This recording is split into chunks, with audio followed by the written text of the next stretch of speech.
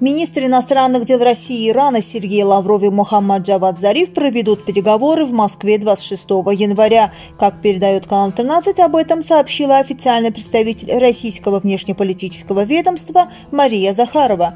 26 января министр иностранных дел Исламской Республики Иран будет находиться в Москве с рабочим визитом, в ходе которого состоятся его переговоры с министром иностранных дел России Сергеем Лавровым, сказала Захарова на брифинге в пятницу.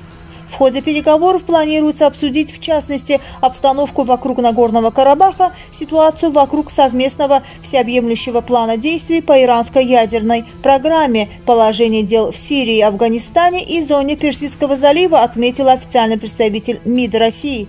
Министры уделят внимание двухсторонней повестке дня ее торгово-экономической составляющей в контексте реализации ключевых совместных проектов в области энергетики и транспорта, а также наращиванию укреплению культурных и гуманитарных связей, добавила Захарова.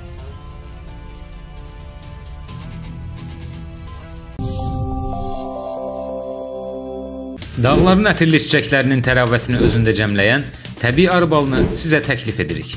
Təbiətin insanlara bəxş etdiyi bu möcüzəvi məhsulu əldə etmək üçün ekranda gördüyünüz nömrə ilə əlaqə saxlamağınız kifayətdir.